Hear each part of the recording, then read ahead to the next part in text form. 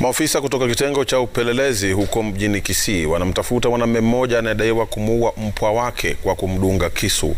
Wawili hao wanadaiwa kuwa na ugomvi kuhusu masuala ya shule. Mwandishi wetu Crispin Otieno anatuarifu zaidi. Huzuni katika kijiji cha Omo sasa maeneo ya Keumbu kaunti ya Kisii.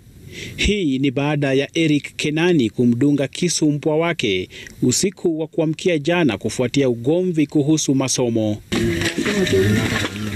Florence Nyakerario aliyeshuhudia kisa hicho anasema alijaribu kumzuia mshukiwa kutekeleza mauaji lakini hakufaulu.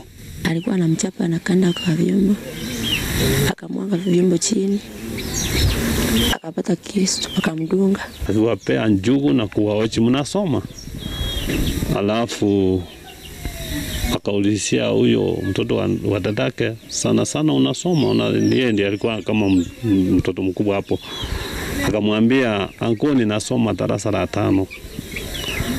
Alafu akaanza kumwambia hapa sasa unasoma?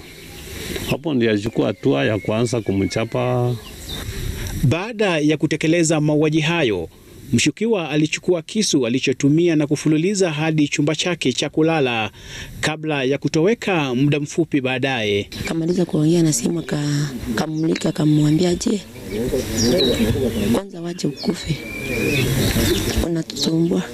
na hiyo kisu ni kama ilikuwa kama futi moja. Maafisa wa DCI kwa sasa wanamsaka mshukiwa huyo mwenye umri wa miaka 32 anayedaiwa kuwa mhudumu wa mahabara katika hospitali moja mjini Kisii. So officers found that uh, uh, the child had already died there, and uh, they were able to recover the murder weapon, that is the knife, which has been kept as an exhibit, and uh, it will be subjected to forensic investigations.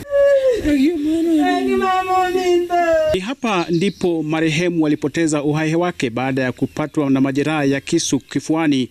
Maafisa wa usalama kwa sasa wakiwa mbioni kumsaka mtuhumiwa kujua chanzo cha hatua yake.